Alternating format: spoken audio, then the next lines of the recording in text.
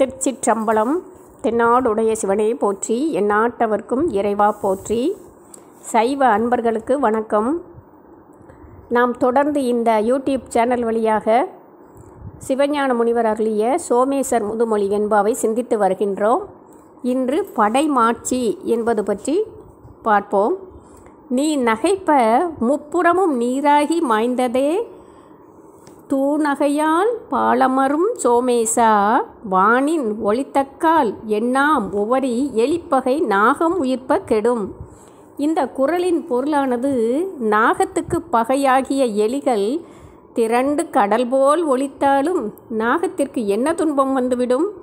நாகம் மூச்சுவிட்ட அளவிலே எலிப்பகை கெடும். இதற்கு எடுத்துக்காட்டு சிவபெருமான் நகை செய்ய திருபுறங்களும் சாம்பலாகி ஆகாயத்தில் அழிவுற்றன என்பதாகும்.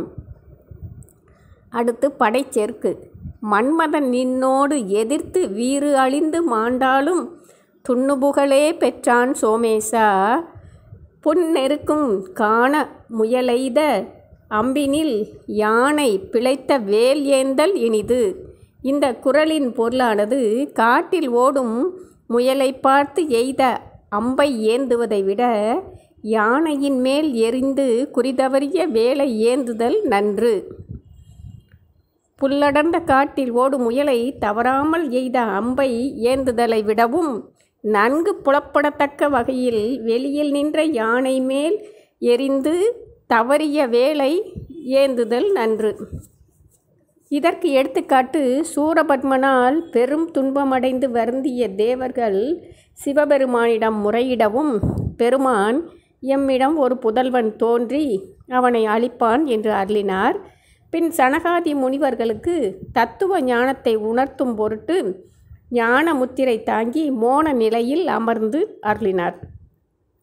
தேவர்கள் எல்லாம் எம்பெருமான் யோக நிலையில் இருத்தல் கண்டு வருந்தி அவரை போகமூர்த்தியாக விளங்கச் செய்யும் பொருட்டு திருமாலிடம் முறையிட்டனர். திருமால் மன்மதனை ஏவ மன்மதன் அஞ்சினான்.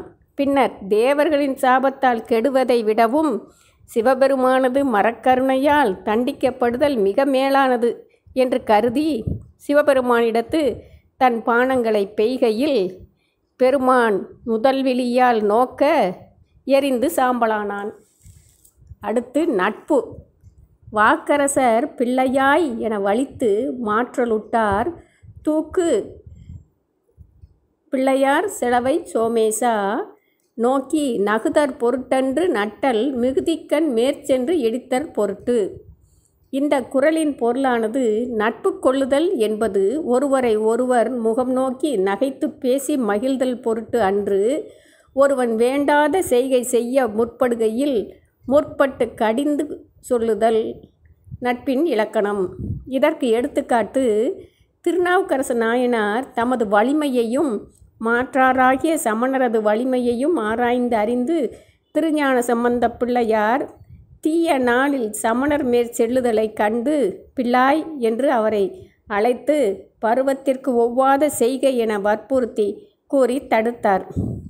மதுரையில் சமன் இருள் ஆதிக்கம் செய்து வர அதனை அகற்றி அருளும் பொருட்டு ஞானசம்பந்த பெருமானை மங்கையர்க்கரசியார் விண்ணப்பித்தார். ஞானசம்பந்தரும் மதுரைக்கு எழுந்தருள இசைந்தார்.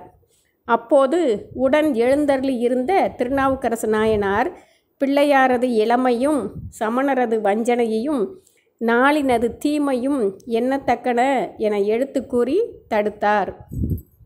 அடுத்து நட்பாராய்தல். போற்றும் சுசீலன் புயபலனை நீத்தகன்றான். தோற்று இறைவி தும்மி உடன் சோமேசா. வேற்றதே ஊதியம் என்பது ஒருவர்க்கு பேதையார் கேண்மை ஓரியி விடல் இந்த குரலின் பொருளானது ஒருவருக்கு பெறத்தக்க பேரென்று சொல்லப்படுவது பேதையாரோடு கொண்ட நட்பிலிருந்து நீங்கி விடுதலே ஆகும். இதற்கு எடுத்துக்காட்டு வங்க தேசத்து அரசனாகிய புயபலன் என்பவன் முறைவழுவாமல் அரசு புரிந்து வரும் நாளில் ஓராண்டு உத்தராயண புண்ணிய காலத்தில் அந்தனருக்கு தாய் தானம் செய்ய விரும்பினான். அதனை கேள்வியுற்ற சுசீலன் என்னும் பிராமணன் விதர்ப்ப தேசத்திலிருந்து அங்கு வந்தடைந்தான். பிற அந்தணர்கள் அவனை வரவேற்று மகிழ்ந்து அரசனிடம் அழைத்துச் சென்று முதலில் இவனுக்கே தானம் வழங்க தக்கது என்று கூறி அவனுடைய பெருமைகளை எடுத்துரைத்தனர். அரசனும் மகிழ்ந்து அவனுக்கு தானம் செய்ய முன்வர சுசீலன் அரசனது நெற்றியில் விபூதி இல்லாததை கண்டான். விபூதி அணியவில்லை என்றால் என்னால் தானம் பெற இயலாது. எனவே விபூதி தரிப்பாயாக என்று கேட்டுக்கொண்டான். ஆனால் எத்தனை முறை கேட்டாலும் நீரணிய மறுத்துவிட்டான். எனவே சுசீலன் வெளியேற முற்பட்டான்.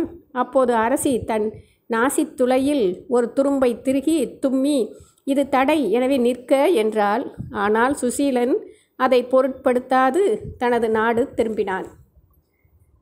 நாமும் திருநீறு அணிந்து எல்லா நலன்களையும் பெறுவோமாக.